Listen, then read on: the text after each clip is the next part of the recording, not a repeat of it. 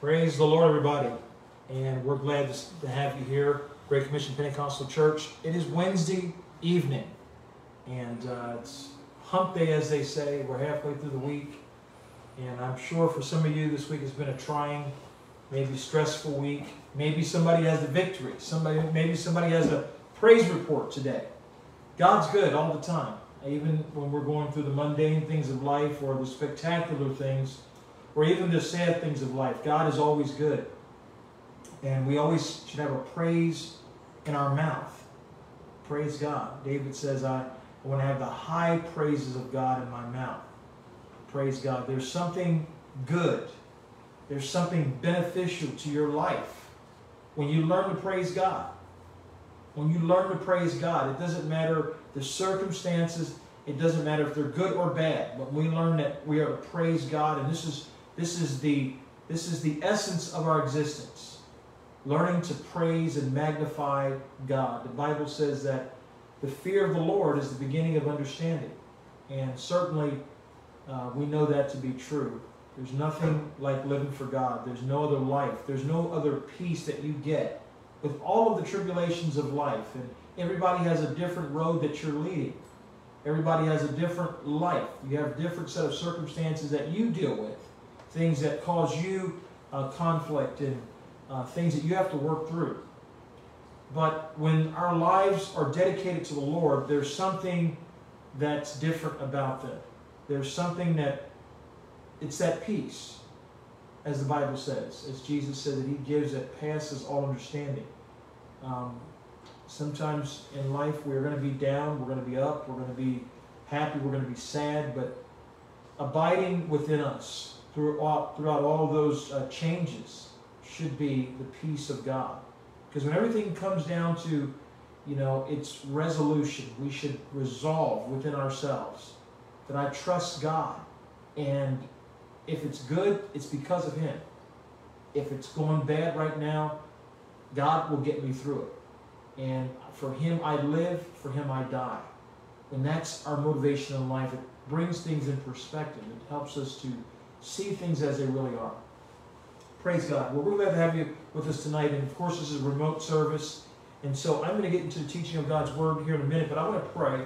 I know there's a prayer requests. There's some things that we have, uh, some prayer requests that have come through our GroupMe this week. And so I want to pray for some of these prayer requests that we have, some other things. So if I miss something, um, if you text um, or send a note here, we'll get that. And maybe at the end of the uh, broadcast, we can um, pray for those things as well.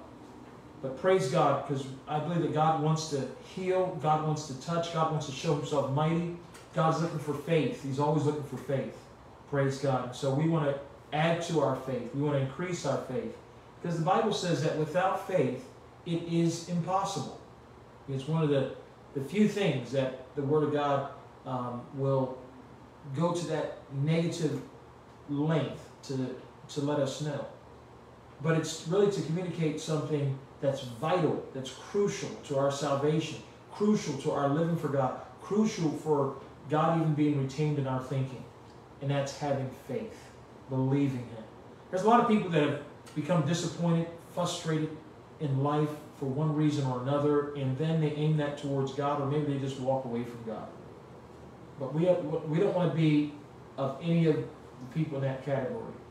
We want to take it to God in prayer.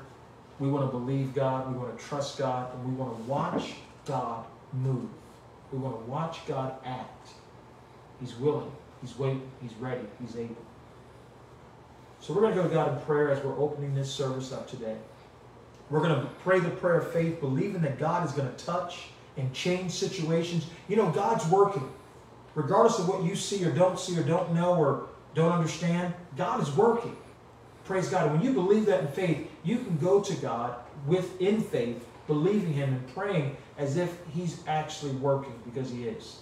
Father, we love you tonight. We're so thankful for your goodness and mercy. We're thankful, God, for who you are and all that you represent in our lives, every promise that you've made, everything that your word says, God, that we stand on. God, the default by which we rest, Lord, or we settle down to, Lord, is your word. And it's full of many promises. It's full of the things that you will do. Regardless of the circumstances, God, that we face, God, there's some examples in your word that you healed bodies. And tonight, Lord, there's those that need healing, God. Lord, I'm thinking of the one, God, with emphysema, Lord God. Pray that you would touch, Lord God, and have your way in his body, Lord God, in, in I guess it's COPD, Lord, in Doug's body. I pray in Jesus' name for your touch in his body tonight. God, I pray, Lord, for your help, Lord, in that family, Lord God. I pray that you would have your way, Lord. Touch, Lord God. I pray, Lord, for your goodness, Lord, and your mercy to be shown, Lord, in every circumstance. You know, those that are going through financial difficulty tonight, I pray that you would move in their lives. God, those that are having marital problems, Lord, God, move in their lives, relationship problems, Lord, family issues, Lord. I pray tonight that you would touch, Lord, those that are drug addicted, those that, Lord, are fighting a battle, Lord, that's bigger than them, God. I pray tonight, Lord, for your touch and for your strength that's made perfect in our weakness, God. Show up, Lord, in somebody's life, God. Show your strength. Show your might. Show, Lord God, your mercy, Lord God, that endures forever. In Jesus' name we pray. Touch tonight. Bless, Lord. Let us hear testimonies as a result of this prayer, God and the other prayers that are going forth, Lord, on behalf of those in need. In Jesus' name we pray. Amen amen. Well, praise God. We've been um, we've, we've been out for the last two Wednesdays, and um, let's just remember our building and those things that we're looking to um, get get uh, some resolution with. God's good. God's good. And we're just seeking God, and let's just continue to pray that God would lead us. Because God is always doing something. Whether you see it or not, God is setting up your future. God is setting up your tomorrow. Your today has been the result. The blessings that you enjoy today have been a result of things that God has put in place yesterday. Building blocks that God, God's a, a God of foundation. He builds a foundation. And many times we're looking for what's above the surface, but seeds go into the ground and much of their work, all that work that allows for anything to penetrate above the ground happens beneath the ground where nobody can see it. And so by faith, praise God, we look at the things of God. We allow God to move and work in our lives unseen. But that's the beauty of it all. That's where faith comes in. Faith says, I'm going to believe God. I'm going to trust God even though I don't see it and even though I don't feel that He's working. I believe. Praise God. It's, it's not predicated upon the evidences that I can tangibly acquire or acknowledge, but it's based upon my belief, my confidence in Him. And that's where you have to be. If I have confidence in Him, everything around me can be fallen down but my confidence and my trust is in Him. Praise God. Praise God. And that's a beautiful thing to, to, to have. That's a beautiful place to be. Praise God. So tonight I, I want to go to the Word of God and uh, won't be before you very long. I, I want to just share some things out of the Word of God that I think should help us. And really, a lot has to do with how we think how you think, the, um, the thoughts that are, are leading, they are, they are taking you somewhere. Um, how those thoughts are put together, um, it's important. You know, we can give this to God. We can allow God to help us to make up our minds, to help us to find our direction. We can do that. The Word of God, uh, it, it's very plain. It lets us know that God can work on the inside of you. The Bible says He can change a man's heart. These are things that are impossible for you and I. We find that very difficult to try to change somebody, but God says He can. Yeah, He says it, you know, in Proverbs 1 or 21 and 1, it says, The heart of the king is in the hand of the Lord. And as the rivers of water, whithersoever he chooses, he turns it. Praise God. God turns. He can turn. He can change a heart. That's how powerful our God is. And not just one little heart or some little heart, but the heart of the king, the, the guy that's in charge. The guy that's in charge of everything. God says, it's that guy. I can change his heart. And you see, that gives us confidence because one of the hardest things that we find to do in life is to change the mind of people that have power. But God says, I have more power and I can change their mind. I can change their hearts. So praise God. God is an awesome God. I'm going to turn to Proverbs chapter 16. Give you a minute to get that. But we want to um, come out of that scripture tonight. I'm going to go through several scriptures, but I hope to, um, to leave something, deposit something into your spirit. The Word of God has that ability to say things to us that nothing else really can, like nothing else really can. You know, we serve an awesome God. His Word is, uh, is weighty, and it has the ability to affect us today, and it's still good enough to affect us tomorrow. It's a truth that that is beyond uh, any amount of time. You know, it's not just static or just pertinent to one uh, area, one period of time, but the Word of God has truths that are that that go with every generation. And tonight we're going to talk about some of that. The Bible says in Proverbs 16 and 1, the preparations of the heart in man and the answer of the tongue is from the Lord. Our ability to contemplate, to reason, to evaluate, to assess, to analyze, and all of this, all of these uh, higher reasoning uh, capability, that comes from God. But in that, I can get some information. I can assess it. I can analyze it. I can I can break it down. I can I can then come to a conclusion and I can be 100% wrong. I can be 100% wrong. And people often are. I mean, everybody's not right. Uh, there are many different opinions on just about every subject in life. I mean, to be human is to almost disagree, to have a different take, because you have your own mind, your own computer, as it were, that contemplates, that, uh, that takes the information in like the next guy and reasons with it and comes to a conclusion. But the wise man here is telling us that this is of the Lord, the preparations of the heart in man, and the answer from the tongue, of, of the tongue rather, is from the Lord. God's given us the ability and God can work within that ability. What does God say about the heart? God gets into the intricate details, things that we don't really contemplate all the time or, or maybe never even think about. The sourcing of it all, or the very nitty gritty. I mean, the baser elements of how we function. God gets into that. And He says, the heart is, is deceitful above all else and desperately wicked in Jeremiah 17 and 9. This revelation, this information is conveyed to us by God through the mouth of the prophet uh, Jeremiah. The heart of man is deceitful and desperately wicked. It's deceitful above all. I mean, the first thing you say about the heart, or God says about the heart, the first layer of assessment, or the base, um, the, the basis from which it works or that it does anything, is deception. Praise God. But I need to allow God to, to have this heart of mine. Because left to my own devices, now, the preparation of the heart and man, that's the, what brings me to my thoughts. Or what brings me to my actions, rather.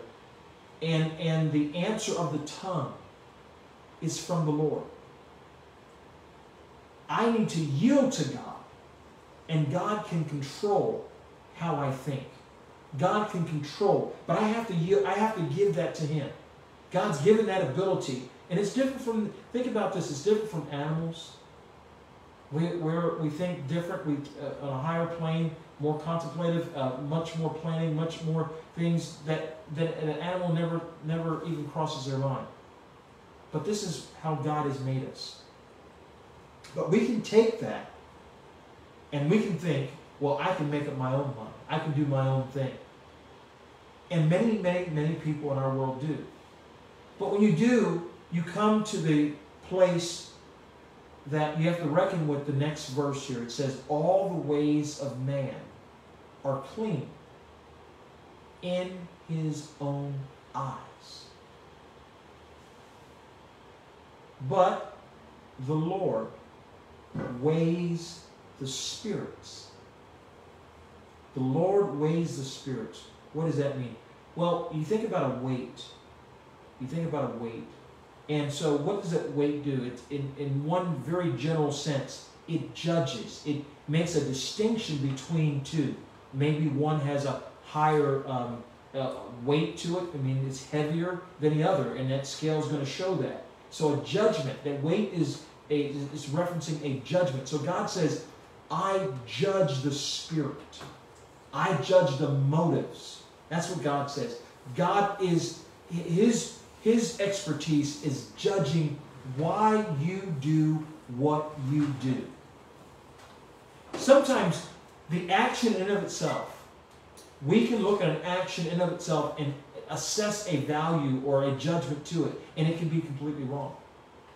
Case in point, in 1 Corinthians 13, Paul says about love, he says, If I give my body to be burned and I have not love, it profits me nothing. I'm a, I'm, it's, it's, no, it, it's done nothing. It has no impact. It's not impressing God. So just the actions in and of themselves do not impress God. God is interested in what the reasoning, the reasoning, or the, the reason, or the motivation behind the action. Praise God. He doesn't just take the action, just assume things. He knows. He says, the heart in Jeremiah 17, going back to that, that statement that he makes very poignant about the heart. The heart is deceitful above all things and desperately wicked. Who can know it? So a rhetorical question ends that little statement about the heart, that little revelation about the heart. In the very next verse, he then says, I, the Lord, try the reins of the heart. So now you have God giving us this imagery of like a horse with a bit in his mouth. And so the reins are being pulled. And when you pull it one way, because it's attached, you know, there in, in that very sensitive place, it makes his head turn, his whole body turns. He's sensitive to that. And God says, I do the same thing. And I give to everyone according to his works. I know the motivation behind what you do, and I reward you accordingly. This is what God says. He's the only one that can see that. We can fool everybody. It's easy to do that. We can fool everybody. But God knows the heart. It says here, all the ways of a man are clean in his own eyes. and this is true. People can justify anything they do. You get a madman as some of the rulers of different nations have been. And they will justify it. Crazy, illogical as it may be, but to them, they have a rational reason as to why they're doing what they do. And this is what he's saying about the heart. People, we're all like that in, in some way when we're unchecked by the Spirit of God. Because you can think you're right. You can think that you can put all the evidences together, and other people might see and what you're doing and what you're saying, and they may see how wrong it is. But because you've been deceived, the heart, remember, is deceptive. And so that even means the party to whom that heart belongs. This self-deception is one of the worst kinds of deception because you don't even know you're being deceived. And yet and still, you have put all your eggs in one particular ba basket that is false. And so he says, all the ways of man are clean in his own eyes, but God weighs the spirit. And if God is weighing the spirits, I need to have my life surrendered to God. So when he weighs my actions, then he can talk to me and I can respond to him. I can change. If I'm going down the wrong path, I think I'm going right. I've, I've contemplated, I've, I've looked at everything, I've assessed the situation, and I've started down a path.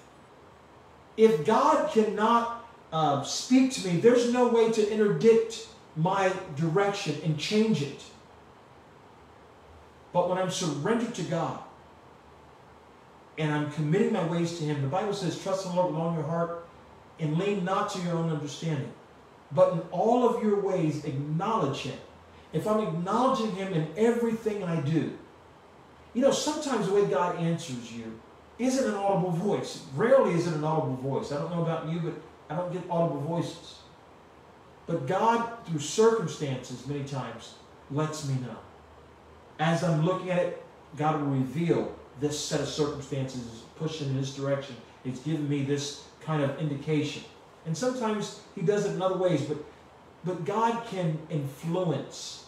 I want God to be able to weigh my spirit, but I want God to be able to check me, right? I want God to be able to check me, and I want to have a responsiveness to the voice of God. I don't want to be in a place where I think I know it all, and God can't even talk to me because I think that I'm doing God's will. That's a dangerous thing. Deception. It's the thing about it. The, the, the heart is deceitful of all things and desperately wicked. Who can know it? Not a man. You can deceive everybody. You can deceive yourself. I need to, I need to give my thoughts. I need to give my ways. I need to allow God to speak at all times when I'm endeavoring to do and to live my life as I'm living it. I need to be open to the voice of God. I need to be open to God correcting me. We need the correction of God. None of us are perfect. And so we need God to be able to correct us, but we have to be in a place. Our spirit has to be in a place. You know, Jesus says one, one time to his disciples, um, they wanted to call down fire from heaven. John and, John and James, sons of uh, thunder. They wanted to call down fire from heaven, but God says, you know, Jesus looked at them and says, watch your spirit. Your spirit. It's very important that what's going on in your spirit is right. Your heart is right. Your motives are right. Sometimes we have to check ourselves. We may feel justified in being upset and, and to, to lash out in vengeance, but God says, check yourself because that belongs to me. You may, be, you may feel justified, but it doesn't belong to you. It belongs to Him. And so at square one, you're, you're corrected. You're, you're wrong. Vengeance belongs to God.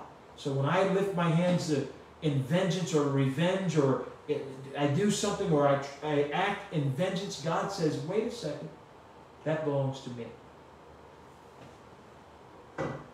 He says in verse number three, commit thy works, your actions, to the Lord, and your plans will be established. If I want my plans to be, if I want God to bless what I'm doing, I have to commit it to Him. That means it needs to be run under His microscope. And so if, it, if it's found to be something He's not pleased with, if I push on beyond that, hey, I'm not going to get His blessings. And my, and my plans will not be established. God's not going to bless and lead me and, and do those things because I'm working against God. And I'm surprised that some people, where they, the Word of God is very clear, and yet still they want to do their own thing and think they're going to commend the blessing of God. It's not going to happen. You deceive yourself. You know, there's, you know, people that do a lot of different things that they think because they, because maybe society gives a consensus. Look at the abortion issue. Because society gives a consensus to that. And so because it does, I can do it. Even though the Word of God is against it, and then I can still say God's going to bless me or think God's going to be happy with what I'm doing. No. God doesn't compromise His Word. He doesn't change. He doesn't flip over. He doesn't say it one day and now all of a sudden these truths, things that he considers that he hates, he all of a sudden likes or is now going to tolerate. No, that's man. Man can be against something, it can be illegal one day, and then it gets watered down over time as people compromise their positions and their morals and their standings, and all of a sudden, where they were looking outside into Sodom, now like Lot, they pitch their tent that way and they find themselves in that place. Deception. It's deception. But the Bible says that we are to commit our works to the Lord, our actions, everything I do, acknowledging Him in all my ways. I've got to do it. And He's going to establish my plans. God wants to establish, you, you want your plans to be established by God. Praise God. Because God's going to give you that approval. I, I, I want the approval of God. I, I don't just want to do things on my own, but I want God's approval. I want God's roadmap. Praise God. Luke 6:45 says, As a good man out of the good treasures of his heart bringeth forth that which is good. And an evil man out of the evil treasures of his heart bringeth forth that which is evil.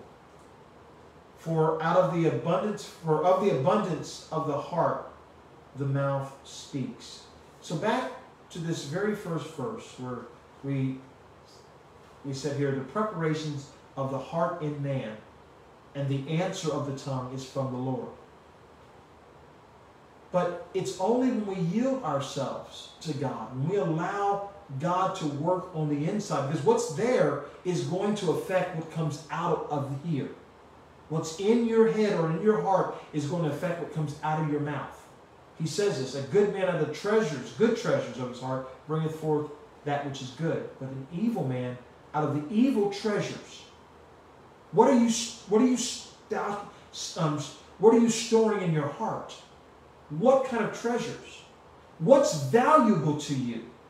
What kind of principles are valuable to you? What kind of things do you do you hold on to? What kind of uh, beliefs do you hold on to? What kind of values do you hold on to? You see, some people they will value things that the world pats them on the back and says, "This is the way you should feel. This is the way you should think."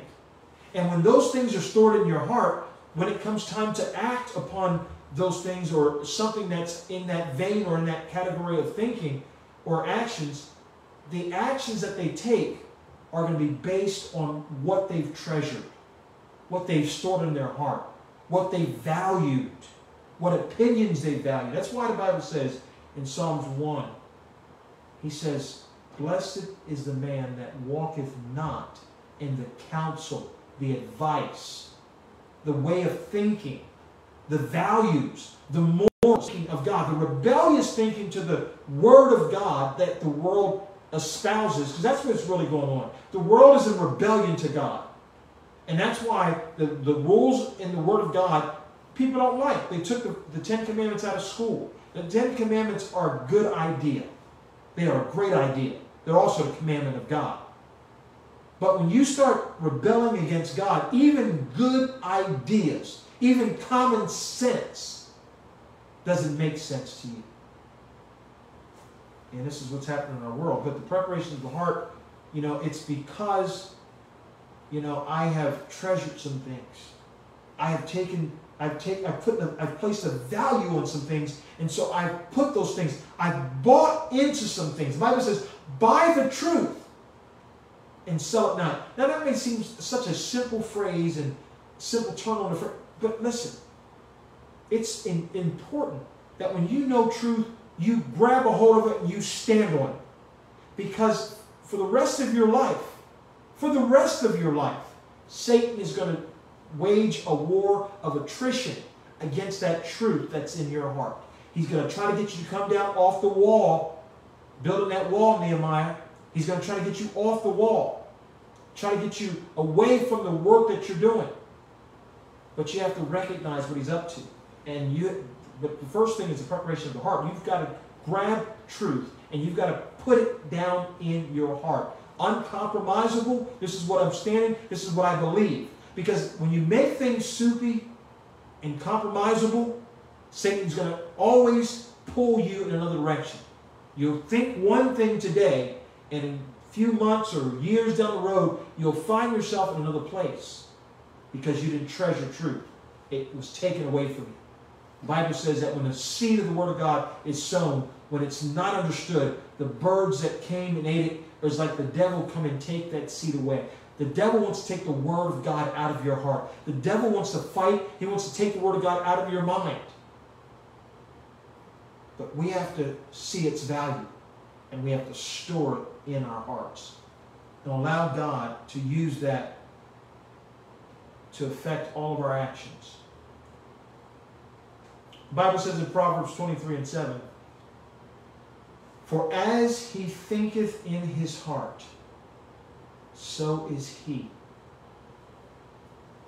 Those contemplations, those preparations of the heart, God, if we allow, if we open ourselves up, the Bible says, trust in the Lord with all your heart and lean not to your own understanding. If, if I'm doing this, if I'm trusting God with all of my heart, and I'm not leaning to my own understanding, what's my understanding? Well, it's the way I see it. It's the way I'm, I'm, I'm analyzing, I'm assessing. Um, it, it's, it's, it's how I'm taking the data that my mind has brought in, my senses have brought in, and what I'm making of that, that data, how I'm assessing it, what's my conclusion. And that is important. So he says, so a man thinks in his heart, if this is the way you think it is, that's the way it is. That's where you're going to be. And then he says, eat and drink, and uh, saith he to, to thee, but his heart is not with you. As, as a man thinks in his heart, so is he. He's that way. I don't want to be deceptive. You know, we, we talked about this at the very beginning. The Bible says the heart is deceitful above all things and desperately wicked. So many times what a person has, what they're feeling in their heart and what their mouth says can be two different things. It's the epitome of, of, of deception because their heart's not with you, but they can say they can say it one way, but at the same time, that's not where they're truly at. And this is what God says when He's talking about the heart. He says, "The heart of man is so deceitful. You don't know. Uh, you, someone can can can pull the wool over your eyes so easily because you don't know where they're truly at." I want to be a person like the Bible talks about Nathaniel. When Jesus saw Nathaniel, he says to him, Here comes a man in whom there is no guile. What does that mean? Well, God, you know, he was saying, Jesus was saying that this man has no double motives, ulterior motives. You, he's not saying one thing. Deception's not in him, is what he was saying. It was a high, high compliment to pay someone. Jesus looked right through him. Jesus told him, he says, I saw you while you were sitting under the tree yesterday. But also, I see the heart of you. And within your heart, there's not these competing motives where you're saying one thing and you're feeling another. And people on the outside are none the wiser to it. I don't want to be that kind of person. I want to make sure that that I'm transparent I don't want to have these competing uh, things going on in my heart and in my mind. I don't want to be a, a person that's deceptive because that's how Satan is. And if you're not careful, you'll be just like him. Jesus talked to some people, he says, You're just like your father, the devil. He's a liar from the beginning, and he's full of lies, and you're doing the same thing. And I don't want to be that way. The Bible says that the last days is going to be earmarked by deception by deception. And today in our world, we see that. Lying is a it's the it's the it's the capital by which people operate. It's how people transact through lies. I don't want to be that way. I don't want to live a, a life that's full of lies. I don't want to be deceived. I don't want to be a person where everything I say is a lie. And everything I live is a lie. And everything I show is a lie. I don't want to live that way. I want there has to be a desire. And when we get close to God, it's a desire to be transparent. God doesn't want us to be so full of deception. Because people can start to feel the insincerity. God wants us to be like Him. And the more we get closer to Him, we start to have the heart that God has. You know, something that's amazing about the heart of God is that his mercy, the Bible says, endures forever. The thing that perhaps separates God from everybody else is that mercy stuff.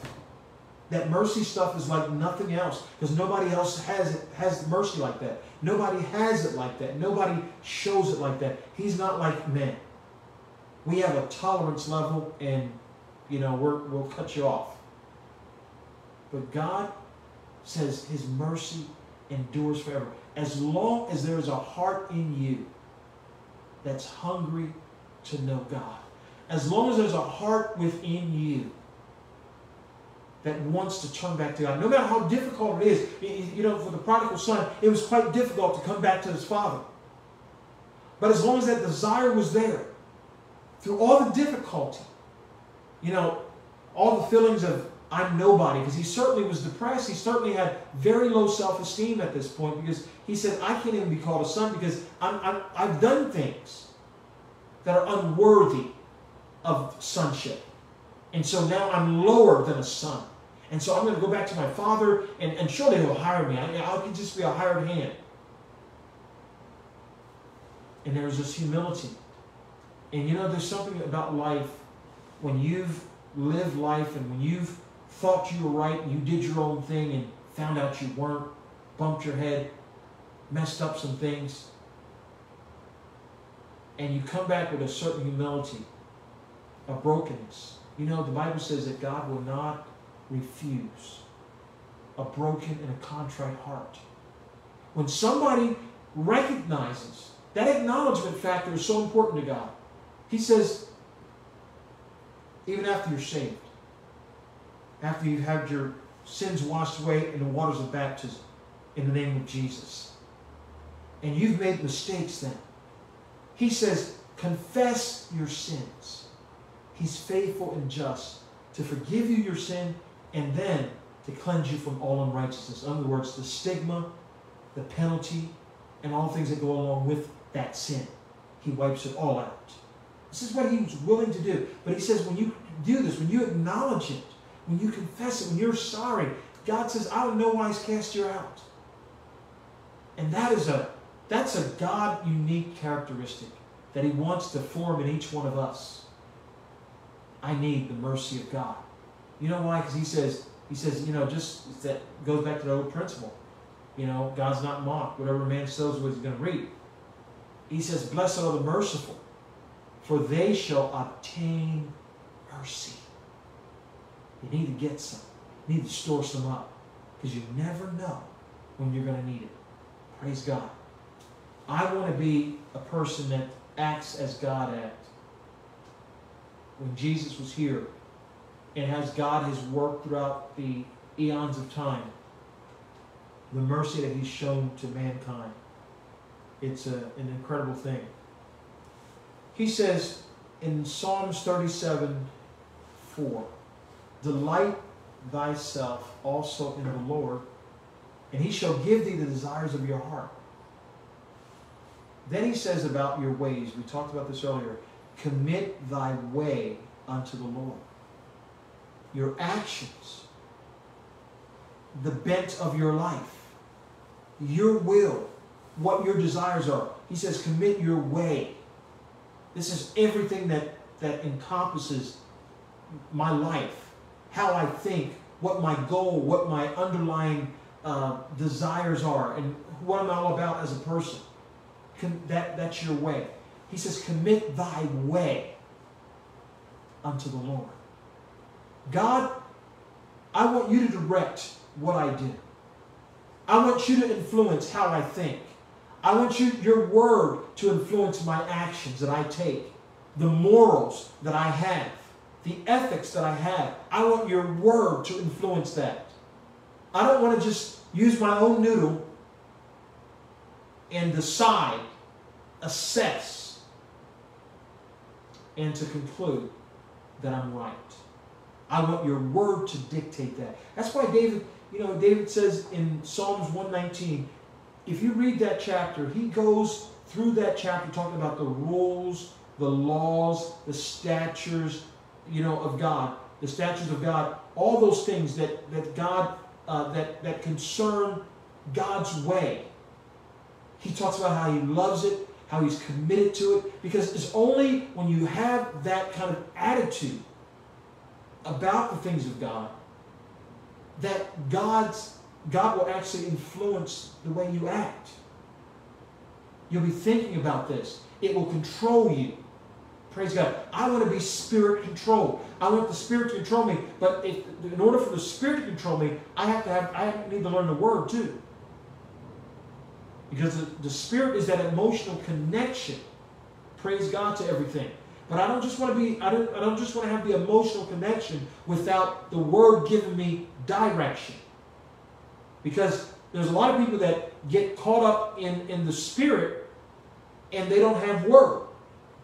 And what happens is the enemy of their soul can influence them right away from the Word of God. You need spirit and word. Both. Both are necessary. I don't just want to have the Word and reject the Spirit of God.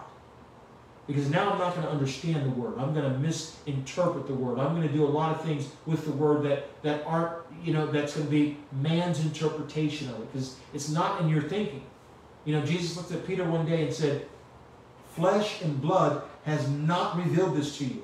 Your brain, your thinking, nor the thinking of another person that might have told it to you. No, none of that.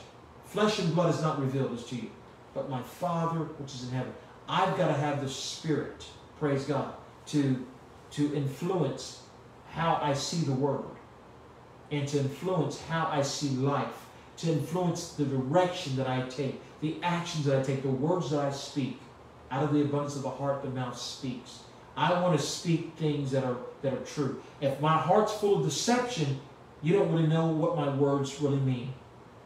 Because I'm going to speak words, and if I'm full of deception, I'm going to say whatever it takes to get what I want. And this is what people do so often. They say what's going to get them what they want. I don't want to be duplicitous. I do not want to have a heart that has competing motives like that. I want Jesus to look at me like he's looked at Nathaniel and say, here's a man where there's no guile. What you see is what you get. That was a high compliment. Praise God.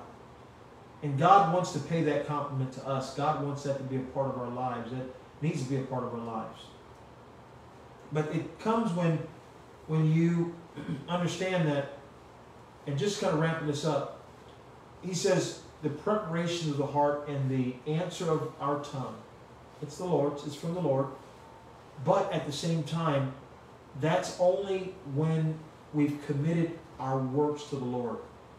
Because if it's just your thinking, if it's just my thinking, it's just my assessment, or it's just my analyzation of whatever um, material or data or circumstances in the world that I live in that I'm thinking about and using to make a decision or come to a conclusion, if it's just me, the Bible says all the ways of a man are clean. They're good, they're righteous, they're right, the right thing to do, and you know, all these things in my own eyes. But if I ever want to get past self righteousness. I have to get His righteousness.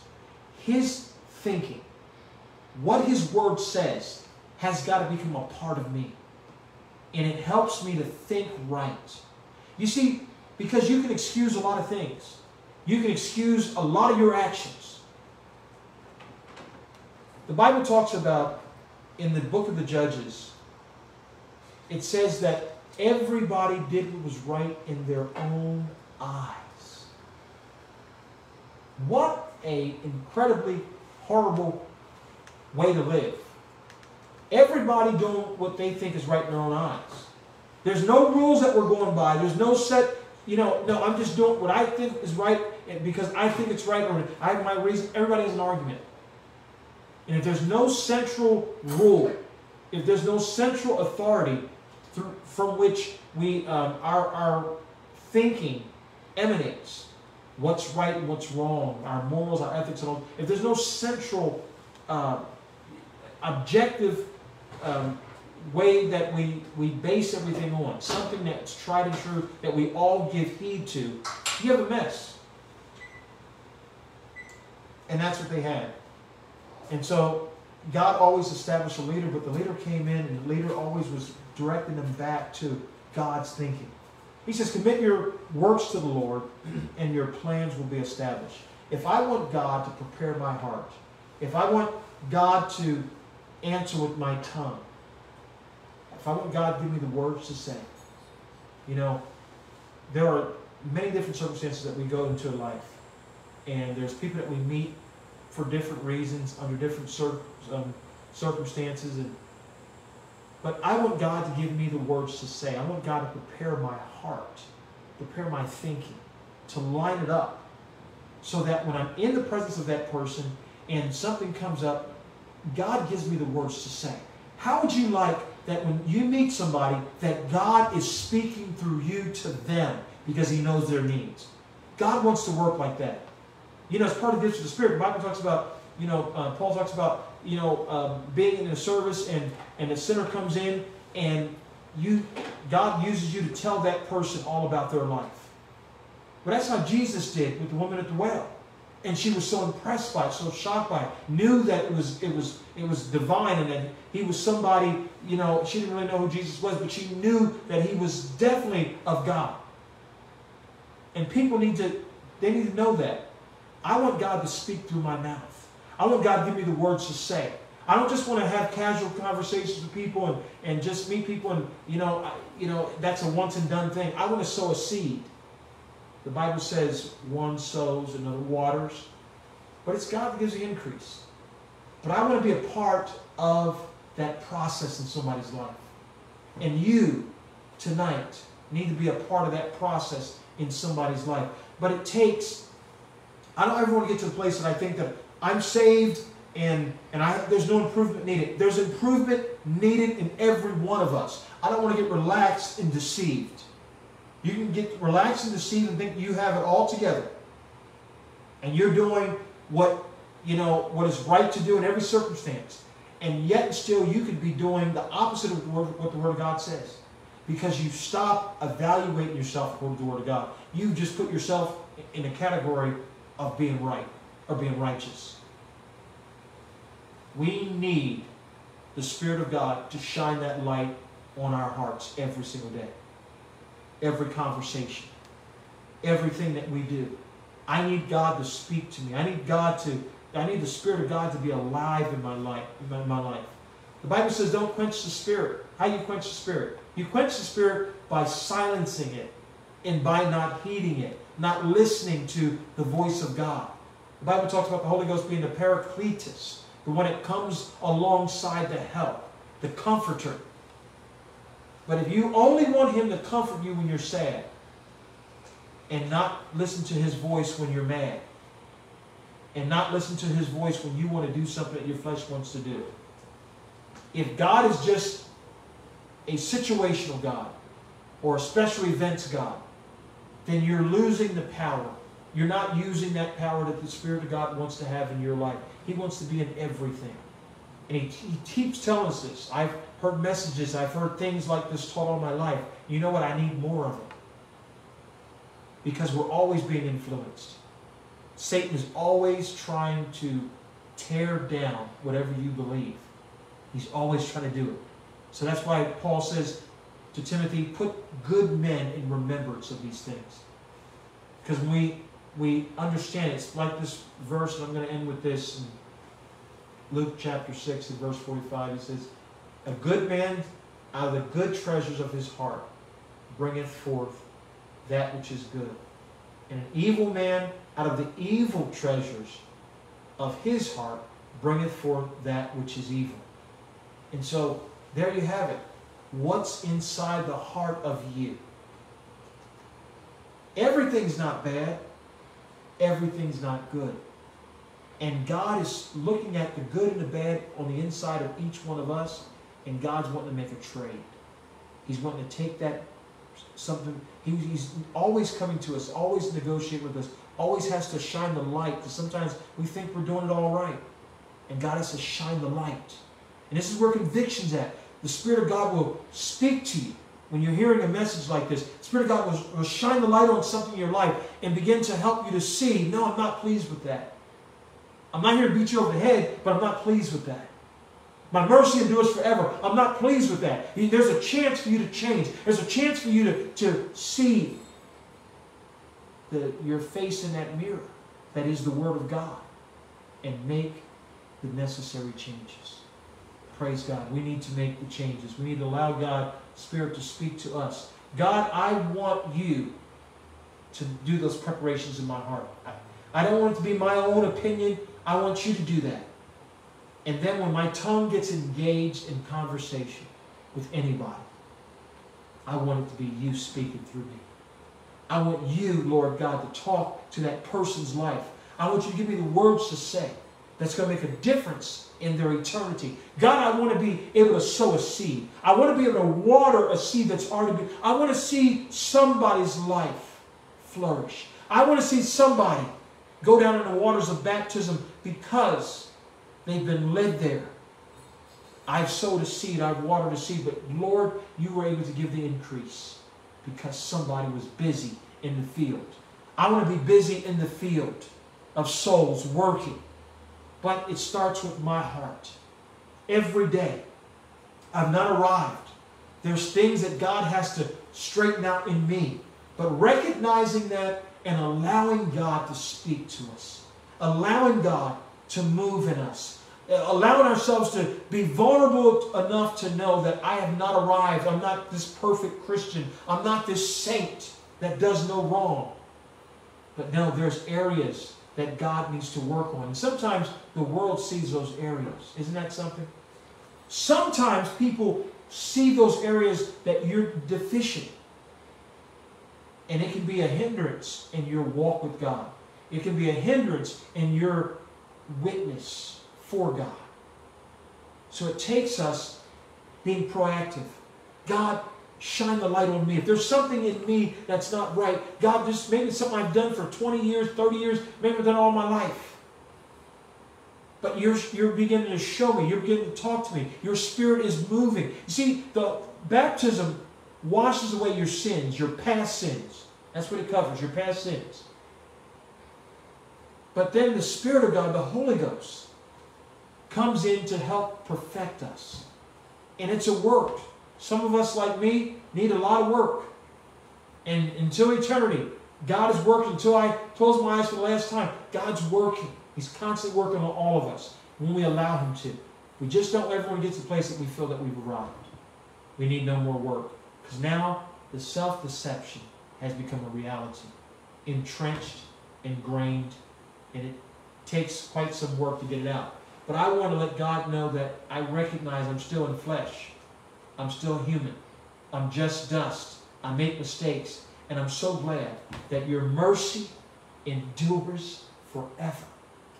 Oh, you have mercy that endures forever. You don't ever get to the place to say that I'm, I just had it. No matter how much you ask sorry, uh, ask forgiveness, I'm not going to forgive you. God doesn't reach that point as long as your heart is bent towards God, doesn't matter how far you've gone prodigal, when your heart is bent towards God and you make that move back to God, He's not going to refuse you. He says, a broken and a contrite heart He would not refuse. Rather, quite the opposite, He draws nigh. The Bible says He's near to them that are of a broken heart. Praise God. Hallelujah. We're going to close this out and pray tonight in prayer. Not sure if there's any prayer requests that came through the uh, through the internet, but we're going to talk to God.